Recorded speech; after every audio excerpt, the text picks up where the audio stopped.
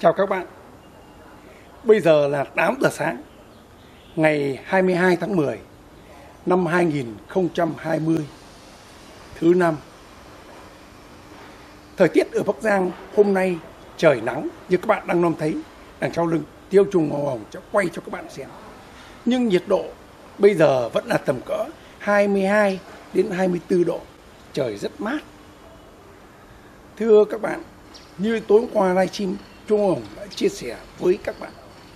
Hôm nay sáng thứ năm, thường kỳ Trung Hoa Hồng sẽ quay cận cảnh những chậu hoa hồng của Trung Hoa Hồng ở thời điểm hiện tại để xem các bạn ngắm thể trạng những cây hoa hồng của Trung Hoa Hồng xem có giống với những chậu hoa hồng nhà các bạn hay không. Qua đó có thể áp dụng những kỹ năng hoặc kỹ thuật chăm sóc cho chính những cây hoa hồng của các bạn để mùa hoa hồng năm nay chính vụ có những bông hoa tuyệt đẹp nhất là những vào dịp Tết Nguyên đán âm lịch. Và không để các bạn chờ lâu, bây giờ Trung Hồng sẽ cầm máy quay cận cảnh toàn bộ khu vườn này của Trung Hồng để các bạn mục sở thị. Các bạn nhé quay cận cảnh toàn bộ uh, khu vườn này để các bạn mục sở thị. Các bạn ạ xin kính mời các bạn.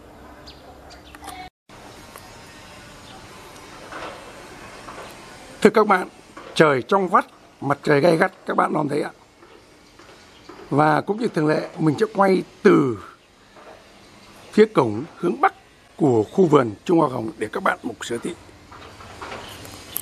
Đây là những cây hoa hồng được bấm ngọn. Bấm ngọn, các bạn nhớ nhé, bấm ngọn thì không phải cắt cành. Ngày 20 tháng 8 âm lịch, hôm nay là được 16 ngày. Các bạn nom toàn cảnh, Trung Hồng đang đi máy, cái vườn hoa hồng của chúng. Và bây giờ nó đang nhí mầm như thế này.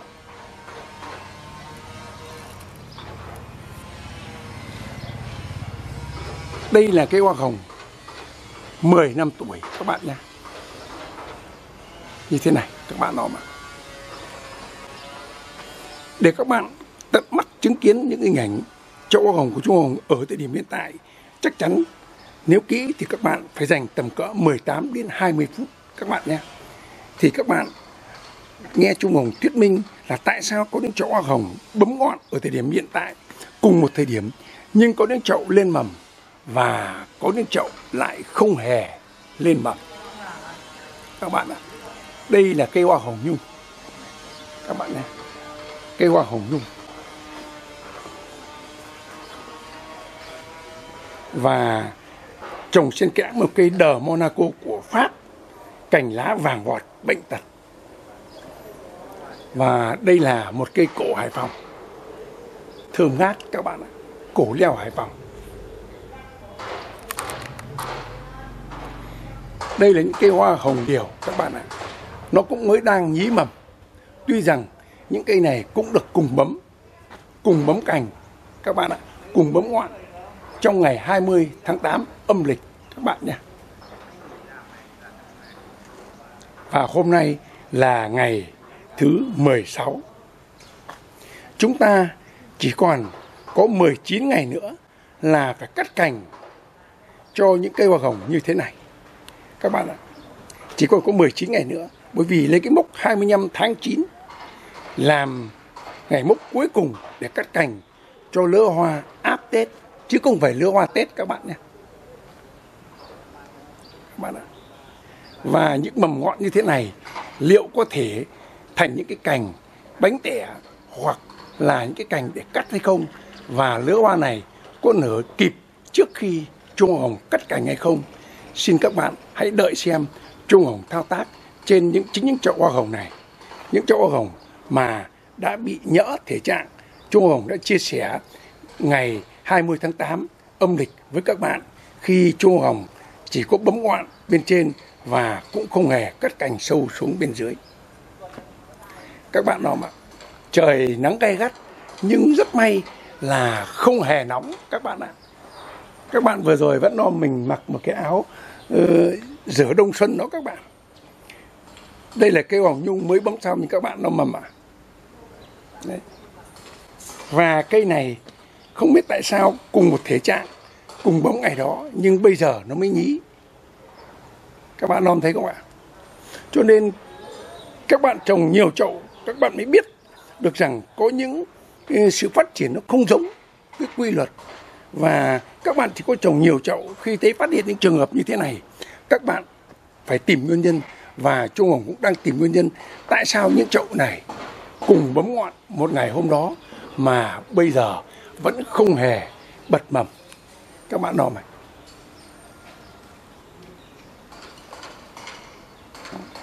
Còn những cây khác thì lại bật mầm. Thậm chí mầm rất dài.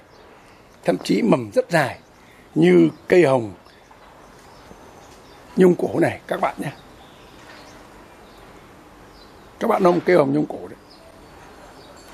Và cây này một số nhánh thì bật mầm một số nhánh thì cũng không hề mật mầm nhưng các bạn hãy lưu ý, cây hoa hồng của Trung Hồng ở thời điểm hiện tại là rất khỏe và không hề có bệnh tật các bạn nhé. Các bạn non lá xanh mướt mà mở rộng như thế này là cây hoa hồng không hề có bệnh tật các bạn ạ.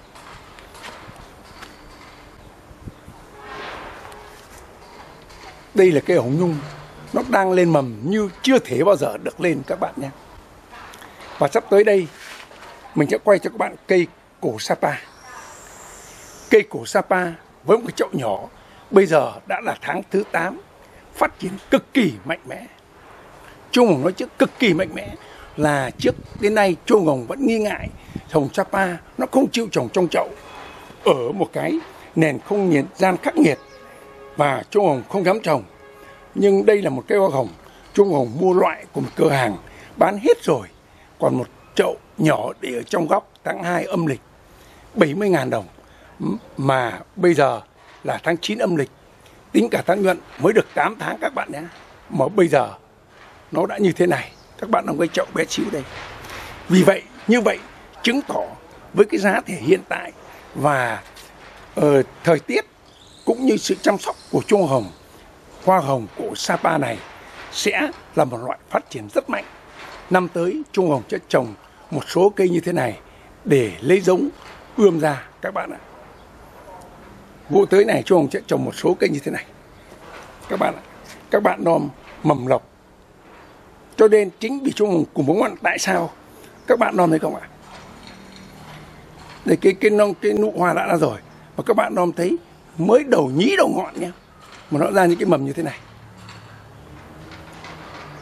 Cho nên Trung Hồng cảm tưởng rằng nó rất phù hợp với cái nền giá thể và nền nhiệt độ khắc nghiệt trong chậu nó đã chịu. Thưa các bạn mình quay vào để cho các bạn xem đây là một cái hướng uh, phía tây tính ở vườn nhà mình ở phía được ánh nắng ban mai. Các bạn nom thấy bây giờ rực rỡ ánh nắng và khi được nhiều ánh nắng cây hồng sẽ phát triển rất mạnh. Các bạn đang nom thấy ạ có những cây như thế này. Các bạn ạ, có những cây như thế này, các bạn xem.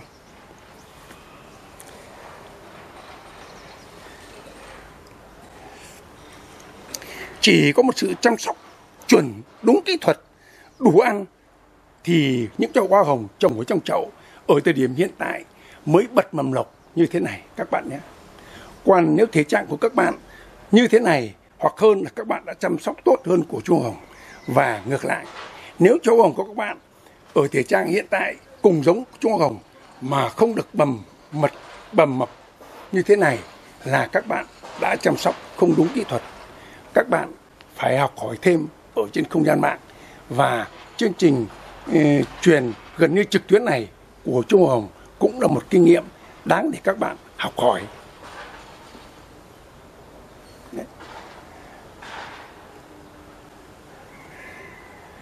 Thì các bạn, các bạn hãy để ý nhé, không hề có bệnh tật nha, các bạn nhé.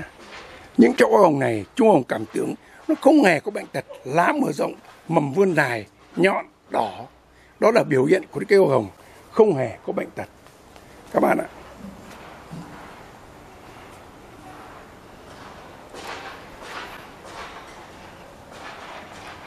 Đây là cây hồng nhung. Thưa các bạn, mình đang đứng về góc phía tây. Mình lia máy để các bạn nom tới toàn cảnh của vườn nhà mình. Hiện nay trời đang nắng các bạn ạ.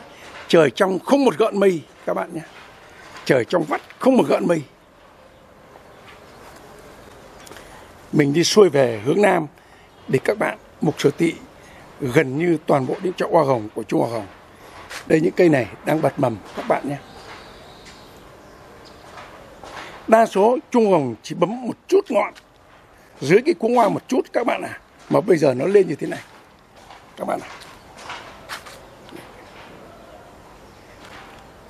không biết không biết thể trạng những cái hồng của các bạn uh, có giống của chua hồng hay không ở thời điểm hiện tại. Nhưng vườn của Trung Hồng hôm nay ngày 22 tháng 10 năm 2020 thì thể trạng nó như thế này. Các bạn. Đấy. Các bạn nó một màu đỏ rực.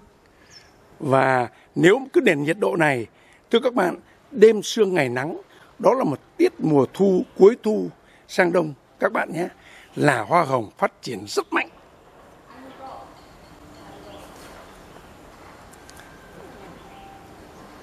các bạn nào ạ và phát triển rất nhanh đó các bạn ạ. Mà hoa nở cũng rất đẹp. Nếu như cứ thể trạng hoa hồng như các bạn đang được non thấy ở thời điểm hiện tại vườn của Trung Hoa Hồng, thì những cành lộc như thế này 25 tháng 9 âm lịch, nghĩa là còn 19 ngày nữa là chúng ta cắt cành quá đẹp. Các bạn nhé. Cắt cành quá đẹp. Và đây có những cây cũng là đang nở hoa. Các bạn ạ. Cỗ cây cũng đang nở hoa, các bạn nông kỹ đeo ạ.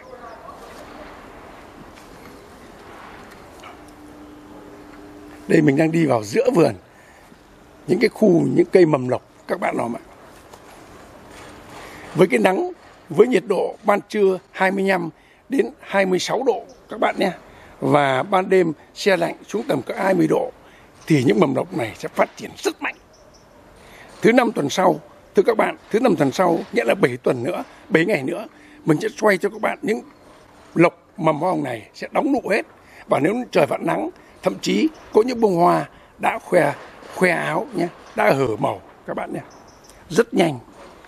Nếu như cứ đêm sương ngày nắng mà nhiệt độ thích hợp như thế này, nó sẽ phát triển mạnh mẽ và rất nhanh. Nhưng nếu là mùa rét các bạn ạ, trời gió bắc thì các bạn sẽ thấy rằng nó sẽ kéo chậm lại hàng tuần lễ. Các bạn kéo chậm lại hàng tầm lễ. Các bạn lưu ý. Bây giờ mình bắt đầu lùi xuống hướng nam. Các bạn ạ, hướng nam của khu vườn. Để mình quay cho các bạn. Trước mặt các bạn là toàn bộ khu vườn hướng tây của mình để các bạn đó ạ.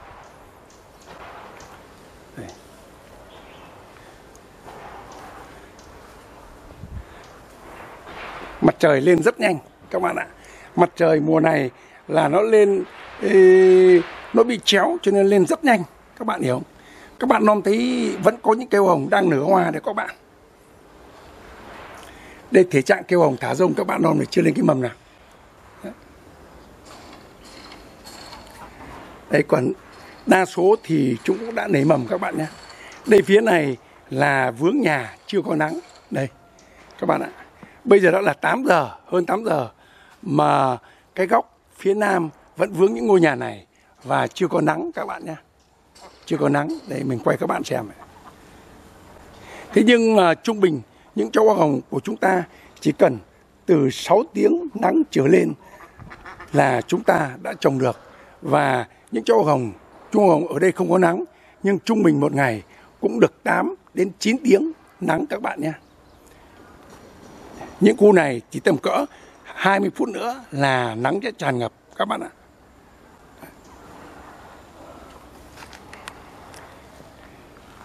Đây mình đang đi về góc phía nam cho các bạn và mình quay cận cảnh cho các bạn xem đấy. Các bạn ạ, nó đang lên mầm ẩm ẩm vàng. Nhất là hồng nhung, nó lên những cái mầm to mập như các bạn đang nói mẹ.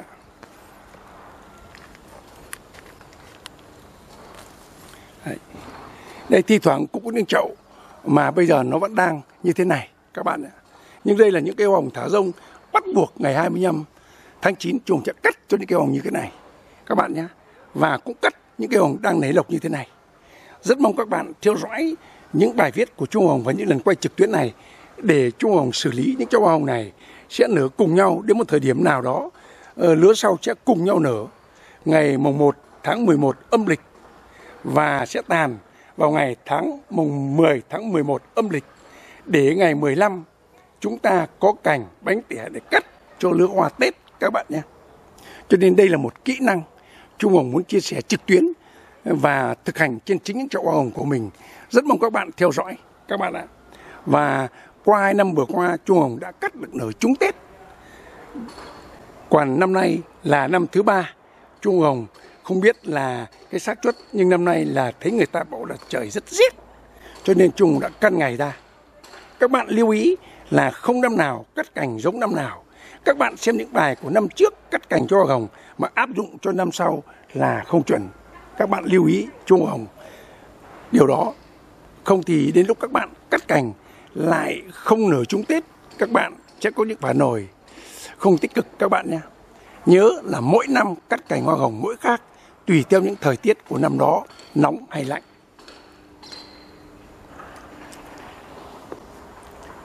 Chú Hồng đang quay gần như toàn cảnh vườn của chú Hồng cho các bạn xem đấy. Đây là chỗ hoa hồng vẫn còn đang nở hoa và chưa có biểu hiện gì mầm lộc các bạn nhé. Đây có rất nhiều chậu như vậy các bạn ạ. À. Đây chậu như thế này nhưng chú Hồng đang thả rông thì cái việc ngày 25 tháng 10, 25 tháng 9 tới đây chú Hồng vẫn cắt cho những cây này để cho nó nở hoa vào ngày mùng 1 tháng 11 âm lịch. Thưa các bạn, rất có thể nói trước như vậy, các bạn có đặt những dấu hỏi, nhưng Trung Hồng đang cố gắng tạo cho những cái hoa hồng của mình ngày mùng 1 tháng 11 âm lịch đã trúng chín và nở những nụ hoa đầu tiên của những cái lứa hoa áp tết các bạn nhé.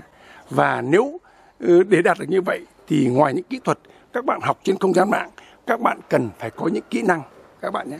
Cần phải có những kỹ năng. Đây là cây hoa hồng 10 năm tuổi các bạn ạ. Thưa các bạn, cùng một thời gian bấm ngọn, cùng một thời gian cắt, nhưng những cây hoa hồng già to, uh, sự ra mầm chậm hơn tầm cỡ 2 đến 5 ngày. Các bạn ạ, cho nên cho nên tuổi cây hồng cũng rất quan trọng để các bạn xác định được khung thời gian để các bạn cắt cho hoa hồng nở chúng theo một thời gian nhất định theo ý đồ của mình, các bạn nhé. Đây các bạn nom những chỗ hoa hồng 10 năm tuổi của mình, bây giờ nó mới đang nhí nụ thế này thì việc ngày 25 tháng 9 là không thể cắt được cành thò này được. Và chúng 25 tháng 9 âm lịch này chuông vẫn cắt những cành mẹ bên dưới, các bạn nha.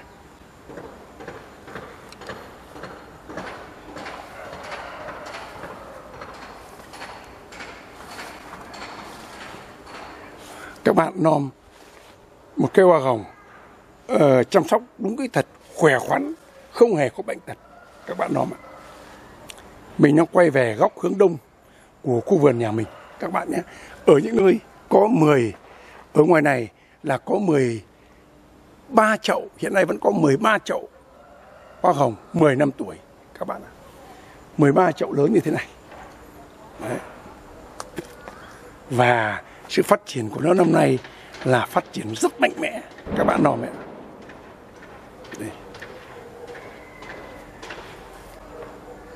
ánh nắng tràn ngập các bạn ạ. Đấy Trung ông vừa nói các bạn là bây giờ ánh nắng đã sắp tràn ngập cả vườn rồi các bạn có thấy không ạ?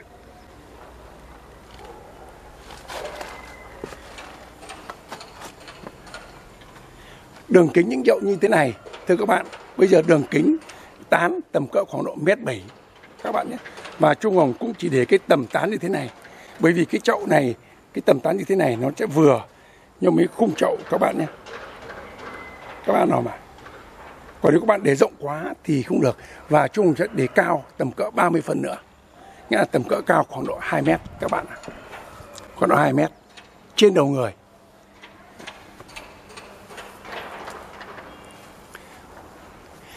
Thưa các bạn, trên đây là toàn bộ những ảnh trực quan sáng nay ngày 22 tháng 10 năm 2020. Trung Hồng quay trực tuyến ở vườn hoa của Trung Hồng vào thứ năm hàng tuần, thường kỳ thứ năm hàng tuần để qua đó các bạn thấy những thể trạng của cây Trung hồng ở thời điểm hiện tại phát triển như thế nào. Qua đó có thể so sánh với những chậu hay cây hồng nhà các bạn. Hít Trung hồng hy vọng các bạn sẽ rút ra được một chút kỹ năng nào đó áp dụng cho chính những chậu hoa hồng của mình. Để mùa hoa hồng chính vụ năm nay, các bạn có những chậu hoa rực rỡ, nhất là chu kỳ hoa đón Tết âm lịch. Trung Hồng rất cảm ơn các bạn đã dành 16 phút xem hết video này. Xin kính chào và hẹn gặp lại các bạn vào video tiếp theo. Xin chân thành cảm ơn các bạn.